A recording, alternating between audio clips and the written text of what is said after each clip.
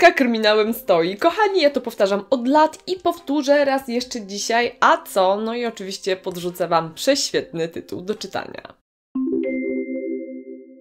Hej, hej, moi drodzy, w ten piękny wiosenny dzień wita Was Olga z Wielkiego Buka. I będzie to, słuchajcie, powieść, którą miałam szansę przeczytać ponad rok temu, kiedy jeszcze nie miała swojego wydawcy, no i ja już wtedy wiedziałam, że to będzie hit w swoim gatunku. Usłyszcie wrzask Izabeli Janiszewskiej, jest to wielkobukowy, kryminalny patronat od wydawnictwa Czwarta Strona.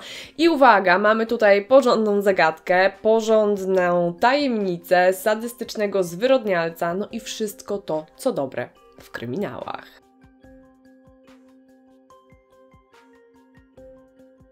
Nieokiełznany policjant Bruno Wilczyński bada sprawę śmierci młodej, pięknej dziewczyny, która mu na myśl przywodzi sprawę śmierci sprzed lat. Natomiast zbuntowana reporterka Larysa Luboń zajmuje się sprawą sadystycznego sponsora, który płaci młodym studentkom za brutalny seks. Bruno i Larysa spotykają się przypadkiem, by wkrótce okazało się, że ich sprawy łączą się. Natomiast wszystkie tropy prowadzą do człowieka, który jak do tej pory no, ukrywał się za kotarą własnych zbrodni. Pozostaje tylko jedno nazwisko, które jak na razie nic nie znaczy, niewyraźne tropy, które czasami prowadzą donikąd i przeszłość. Przeszłość, w której odnajdą się wszystkie odpowiedzi na pytania.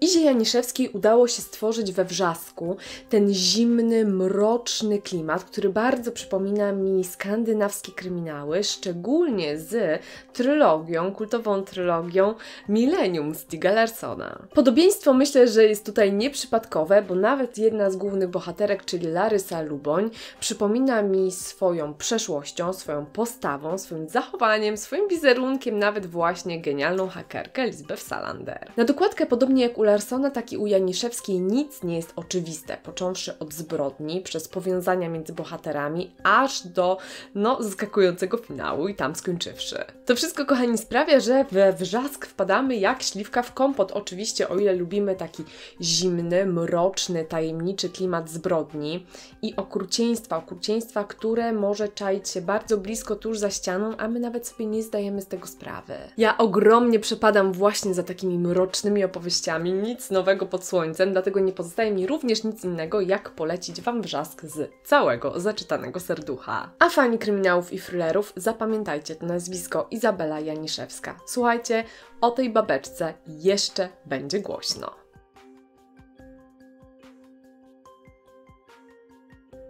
A jako, że mówimy o kryminałach, polskich kryminałach, to dorzucę Wam trzy świetne tytuły, każdy z nich zupełnie inny w swoim gatunku.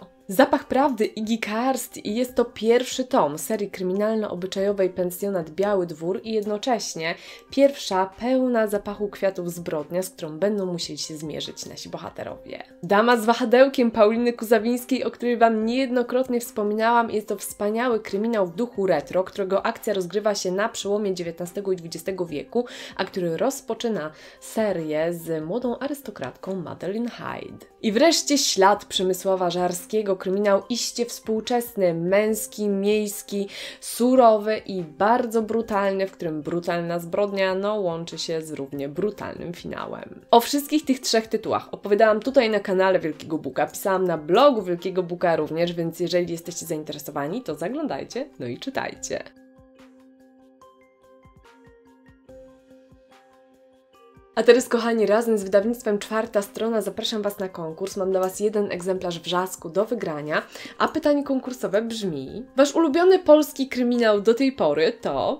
Swoje odpowiedzi wpisujcie w komentarzach pod filmem. Konkurs trwa do końca maja, a potem, jak minie pandemiczne szaleństwo, będziemy rozwiązywać konkursy i wybierać zwycięzców. Jestem przeszczęśliwa, że mogłam przeczytać wrzask ponad rok, kiedy pojawił się właśnie na księgarnianych półkach. Teraz czytałam go raz jeszcze, już po tej tej ostatecznej e, redakcji. No i słuchajcie, jestem niesamowicie dumna z e, Izy Janiszewskiej, ogromnie Wam polecam to nazwisko. Czytajcie, zaglądajcie. No, jeżeli chcecie sobie też trochę poczytać, to zaglądajcie na bloga Wielkiego Buka. No, my widzimy się już niebawem. Do zobaczenia, pa pa! A jeśli jeszcze tutaj jesteście, to zapraszam Was na nowy odcinek na krótko, w którym opowiadam o zimowli Dominiki Słowik i o przez Zośki Papużanki. A jeśli jesteście nowi na Wielkim Buku, to witam Was serdecznie. To kanał książkowy, literacki. Jeśli Wam się tutaj spodoba, zapraszam do subskrypcji. Do zobaczenia!